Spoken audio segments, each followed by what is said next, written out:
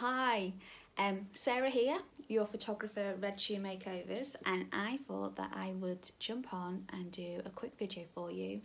Um, and I would like to give you five tips on how to stand in front of the camera. This is something that I go over with all of my clients, um, but in more detail, as I believe that the more information that you have, the more confident and comfortable that you're feeling in front of the camera, the better images we're going to get. So this is just like a really small, small, small version, but I thought it would be really good for you to hear.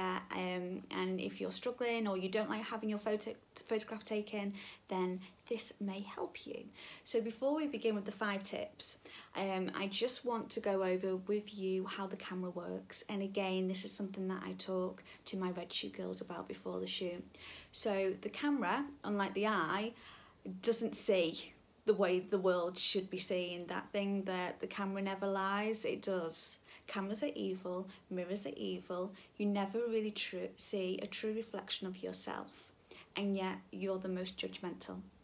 And you are walking around blind to how you look. Mirrors distort, cameras distort, lenses distort. The lens that I'm using now is a 35mm, which is a wide angle lens pressed up against my face so it's distorting all of my features far more than it should do.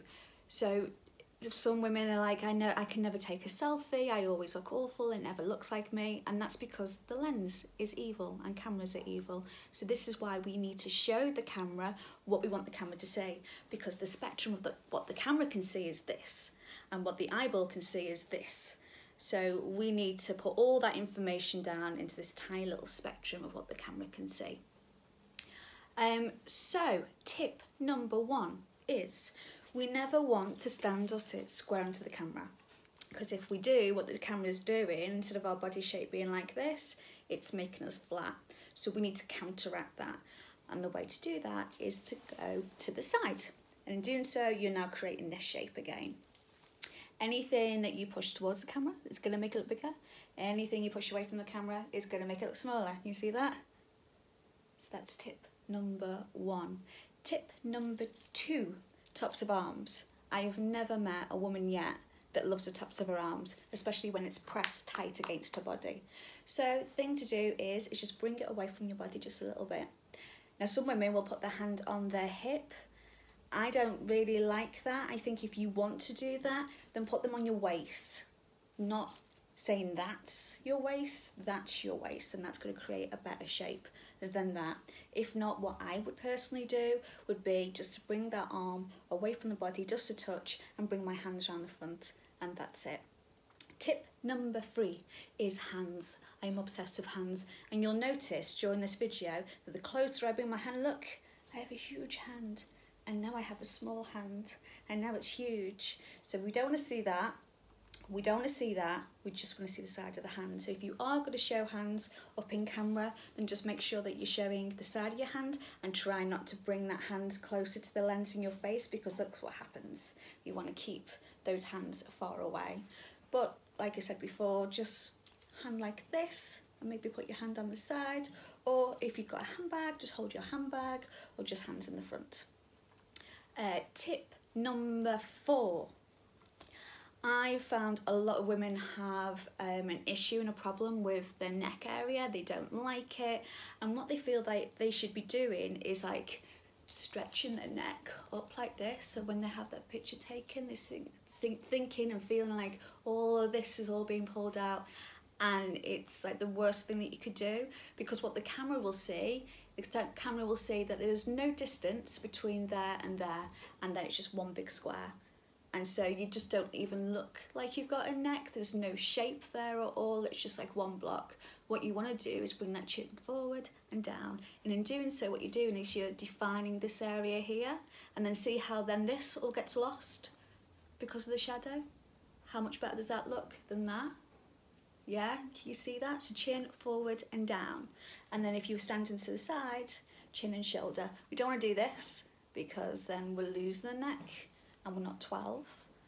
So it'd be this, or this, or this. Tip number five.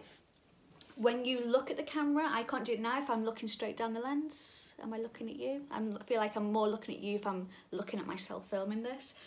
But normally what you'd want to do is look straight down the lens. If you feel uncomfortable doing that, then maybe just look away. It's, but I feel that if you're looking directly down the lens when you're looking at yourself, it's, it's direct and it's honest rather than you being like almost like an object because you're looking away and there's no engagement between you and the viewer. But some people are shy and you'd prefer not to. But me personally I'd like you to look straight down the lens and own who you are and stand in your own skin and stand in the place that you're in right now. Um usually anything like this with like posing a lot of people say oh I don't want to be posed and I often prefer it when there's a photograph taken of me and I wasn't aware of it.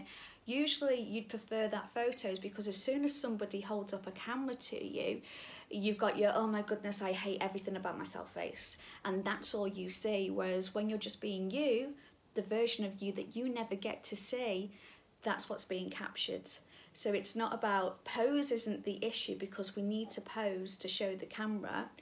It's how you feel about yourself.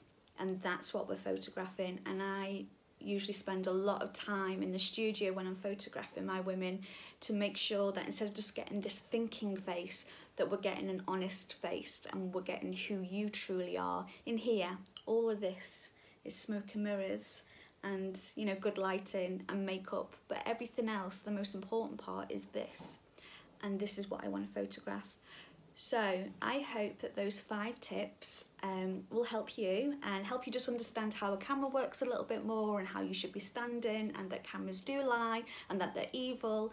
And please do not base your beauty and how you feel about yourself on a machine with a spectrum that can only see this much because that's not you, darling. You are so incredible and so amazing have a wonderful Saturday. Um, if you liked this video, please put a comment and like.